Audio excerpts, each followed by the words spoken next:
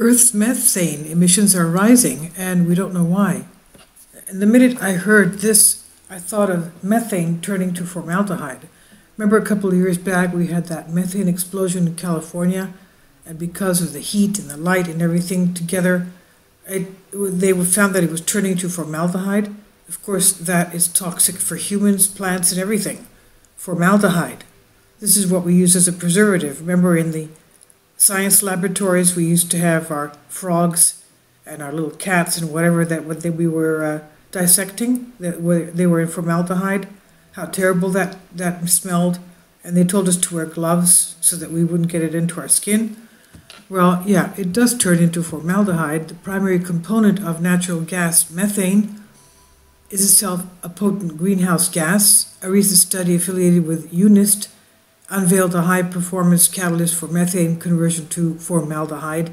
Turning methane into formaldehyde could be a big deal, etc., etc. But we're not going to that. It's just that that's just a terrible situation. Uh, this is uh, the uh, New Scientist recently, May 24th article. Earth's methane emissions are rising, and we don't know why. It's still a mystery. By Adam Vaughan, levels of a powerful greenhouse gas jumped again last year.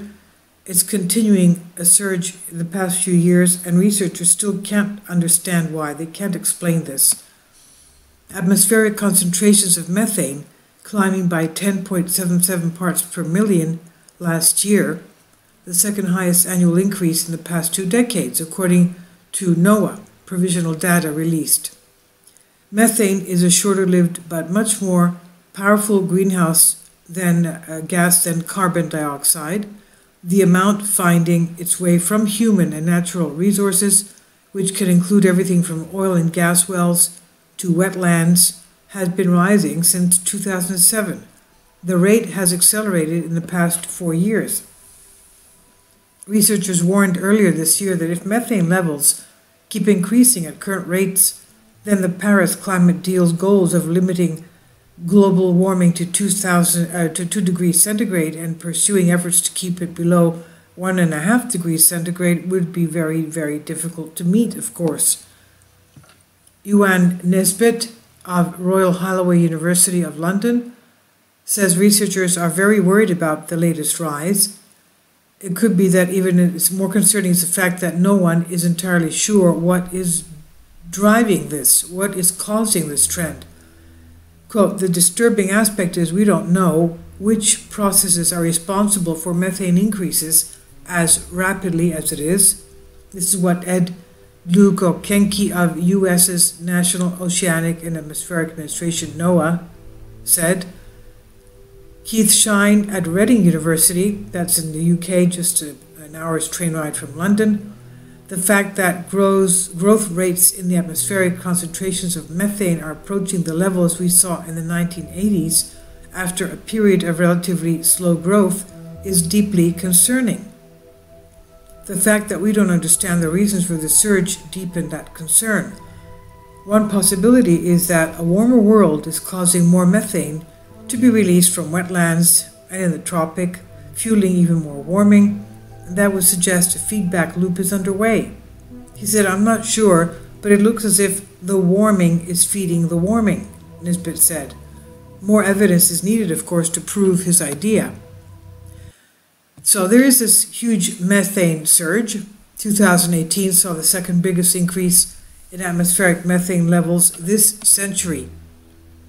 Rebecca Fisher of Royal Holloway University London says we still don't know whether the growth is primarily an increase in natural emissions, such as from warmer or wetter wetlands, or increased anthropogenic emissions such as rice, agriculture, or fossil fuels. It could also be a change in the atmospheric sinks of methane, or most likely combination of reasons. Methane surge gains added significance to the fact researchers have been discovering in recent years that the gas has a more powerful warming effect than they thought previously. In the first report, the UN Climate Science Panel in 1990, 20 tons of methane, sorry, 21 tons of methane was considered to have the same global warming potential as one ton of carbon dioxide. That was upgraded to 28 tons of methane in the most recent major report, and it could rise as high as 35 tons in the next big assessment, which is in 2022.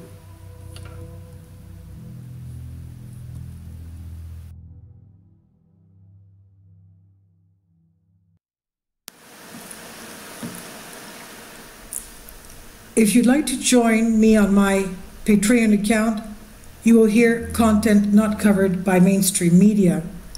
These riveting stories will be based on my research, and I will state my opinions and give my personal insight on diverse and controversial subjects and world events, events not covered by mainstream media, and not certainly on not supported by YouTube guidelines. So whatever I have on my Patreon, most of those will not be on my YouTube channel. Please consider becoming a member today. More of the, the most significant and important videos will be on my Patreon channel. Your support helps me to continue my research and keeps this YouTube channel alive.